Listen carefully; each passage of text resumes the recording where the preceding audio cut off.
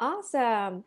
Well, this is really exciting. We are doing another interview for It's Complicated series this couple of months. My name is Emily. If you haven't had a chance to check out some of our other interviews, you can go ahead and follow various links that are probably going to be linked somewhere on our website.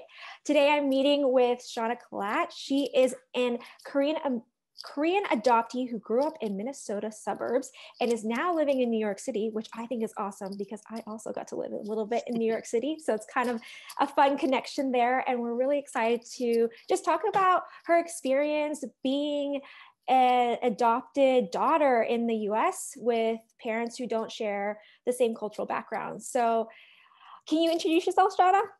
Yes, thank you so much for having me. This is exciting. Um, so as Emily said, I'm Shawna Klatt, and I was adopted from Korea, from South Korea, when I was eight months old. So um, I came over as a baby and um, grew up in the suburbs of Minnesota. One thing that I will note is there are so many adoptees in Minnesota, so it wasn't unusual.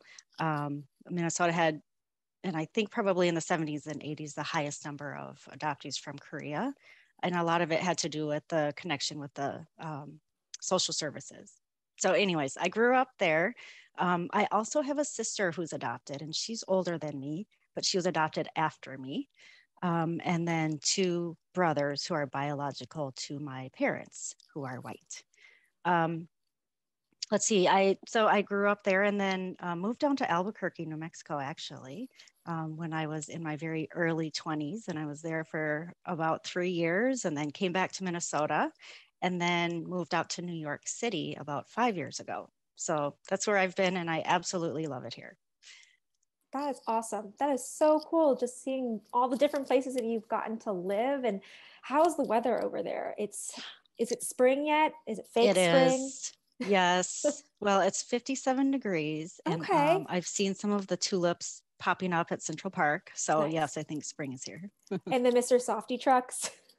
yes, exactly. I always feel like you remember well. I was like, oh, Mr. Softee is here. It is spring. So I think it's really interesting that you mentioned there are many people in your community growing up that were also adoptees. Can you share a little bit more about some of those connections that you made, or even some of the shared experiences or differences that you had, even within your own family and with your friends? Sure. Um, so if anyone is familiar with Minnesota, I was um, I grew up in a smaller suburb um, north of Minneapolis. Um, I was adopted, my sister was adopted, and actually my best friend, Suki, she was adopted too. And she just lived around the corner. Um, so it was kind of, that was my, I guess, uh, Korean world. um, there, outside of that, there really weren't um, uh, many Asians in the area. My, because my sister came um, when she was older, she was eight, um, a social worker would come to our house and she would help my mom learn how to cook she would help translate you know for the language and so we kind of grew up with the korean culture around us. It um, you know my mom my white mother would have jars of kimchi on the on the kitchen counter um, you know and so it, it wasn't very it wasn't unfamiliar i should say. Um, and then me and my friend suki we would always play and you know we we would have kind of some um, Korean culture integrated into our lives. Uh, in particular, during the summers, we would go to a Korean culture camp.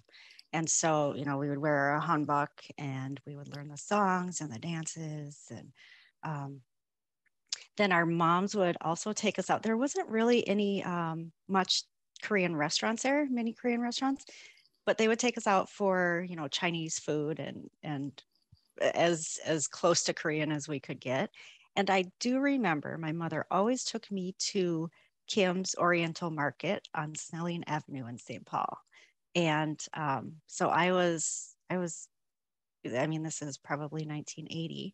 So I grew up going there to get all of the Korean ingredients. And then as an adult, I went there and, um, you know, my son, I would bring him there. So that has probably been the, the most, the long standing um, Korean uh, I guess, memory, you know, or or thing in my mind that I've always appreciated and um, I don't know if you've read the book Crying in H Mart, but I, it's on my list of books to read. I have okay. a long list of books to read, but I I saw it recently. It's wonderful. Yeah. yeah, yeah.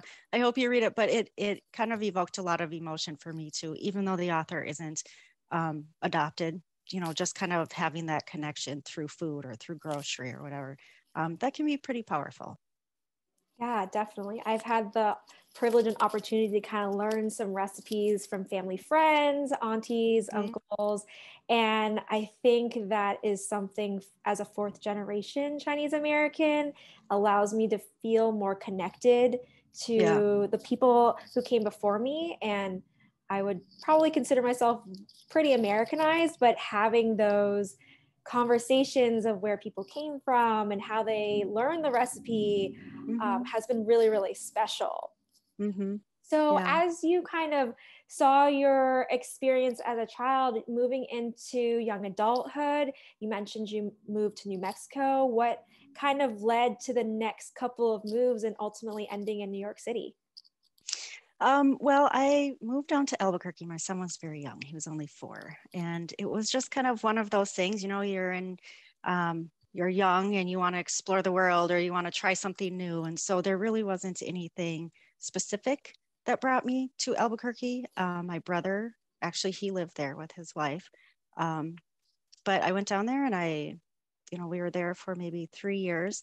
The interesting thing about that actually um, which I don't think about very often, but I know that, and I didn't realize this until later, but that it's uh, very um, strong in my son's, um, you know, memories of growing up and everything. Uh, there was a lot of racism against Asians down there. And it was something that I didn't um, know, I didn't anticipate, and I wasn't familiar with. Um, you know, being in Minnesota, there's Korean adoptees everywhere. Um, and people in Albuquerque were actually surprised that I was adopted by white parents. So that was something new for me. Um, anyways, we eventually made our way back up to Minnesota. And then um, through my job, um, I'm a client manager and lawyer at a big corporation. I got a promotion and I moved to New York about five years ago. Wow, that is so cool. That's it's such an interesting thought. I just moving from different neighborhoods, even for something as simple and little as moving from Southern California to Northern California, I have not, I hadn't previously had that many Asian American friends because I grew mm. up in a white dominated space in the suburbs in Southern California. Yeah. So yeah. I, I, it wasn't normal for me to have this, just to even see folks on the street, like walking, um, or like I have a Korean restaurant down the street and a Chinese bakery down the street, both run by their respective people. And it, it feels like aunties just run these, yeah. these restaurants. And it's wild because when I was growing up, we'd have to drive like 40 minutes to like to an hour to like go get mm-hmm. Chinese American food. And so now right. it's like a block down the street and when my family comes to visit they're like oh can we go there because because it's really good and it's yeah. also really inexpensive and yeah. it's just i think it's wild to like think about that and how do you feel that influenced how you saw yourself in your identity whether that be as a korean adoptee or a korean american or an american or just as a person in the world how do you think that really if that impacted how you saw yourself. Yeah i think all of it did. I think um, there's just been different events throughout my life that sometimes it's stronger and i connect you know very um, closely to the adoptee community. I'm part of um, organization called also known as and it's a group of adoptees. And it's it's familiar you know and it, it feels like home um, and then um, you know, I'm a Korean American is how I identify myself.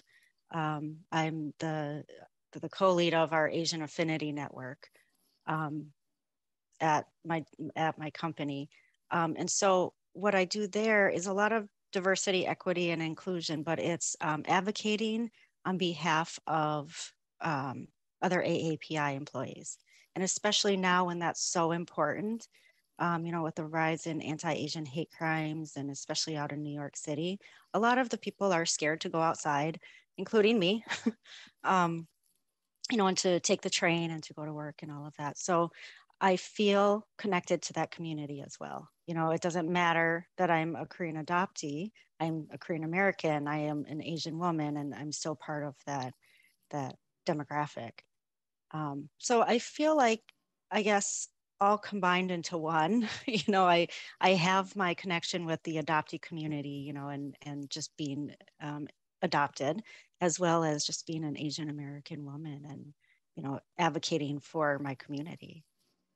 Yeah, that's that's awesome. It's so inspiring listening to your story. As you Thanks. know, I'm also navigating that world, and it's it's always so encouraging to see you know, the pioneers who come before us and like before me. And so I really appreciate you sharing your experiences.